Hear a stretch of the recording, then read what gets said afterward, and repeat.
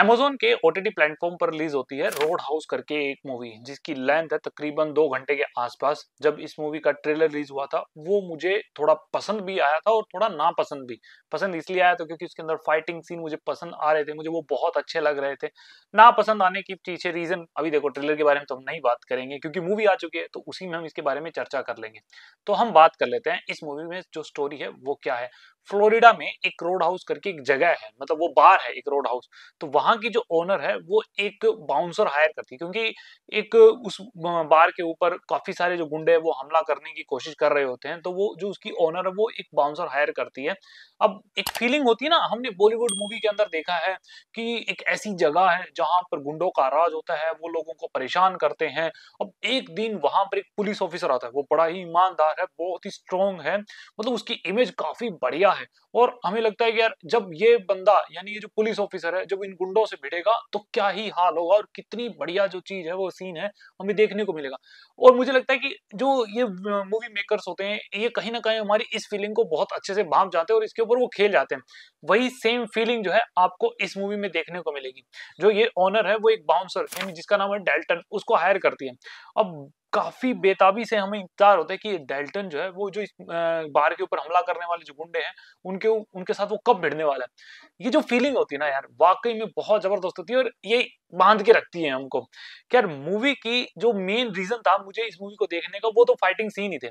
लेकिन मैं ये कहूँगा यार, इतने ज़्यादा फाइटिंग सीन जो मैंने उम्मीद की थी, वो तो है नहीं इसके अंदर। और जिस तरीके की मैं फाइटिंग सीन सोच रहा था कि यार ये देखने को मिलेगा वो भी नहीं मिले इसमें।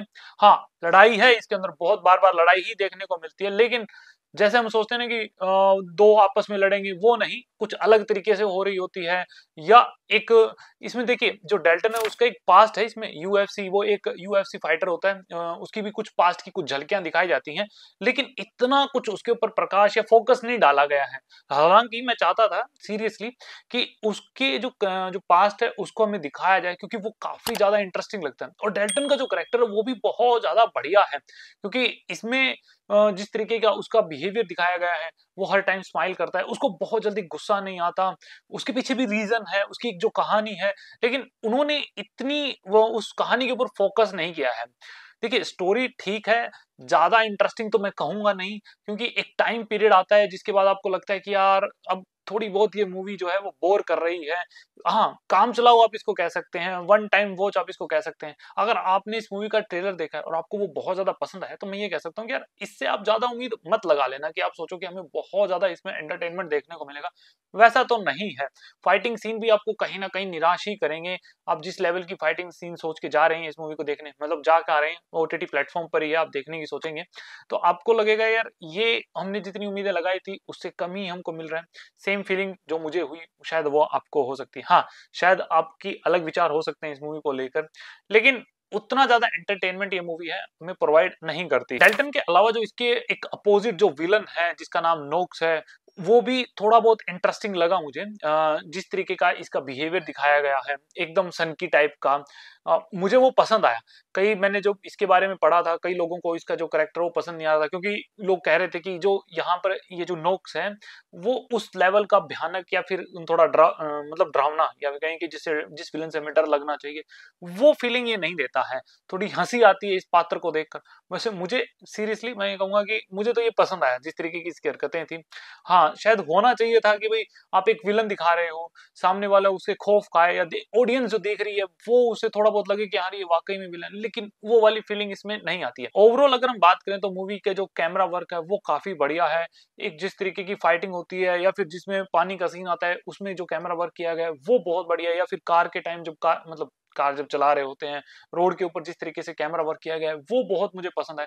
कुछ चीज़ें इसकी बहुत बढ़िया हैं। इसके अलावा मूवी के अंदर एक लव एंगल भी डाला गया है, डेल्टन और एक डॉक्टर के बीच में एक प्यार, थोड़ा बहुत प्यार दिखाया गया है। हालाँकि उसको इतना टाइम नहीं दिया गया है तो ऐसा लगता है कि यार उस पर कोई ज़्यादा डेवलपमेंट भी नहीं है उस एरिया के उस सेगमेंट के ऊपर।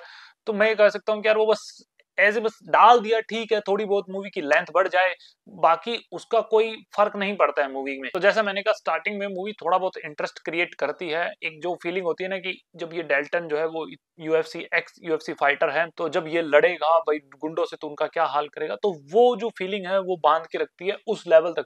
फिर उसके बाद धीरे धीरे जो इंटरेस्टिंग लेवल है वो नीचे ही जाने लगता है।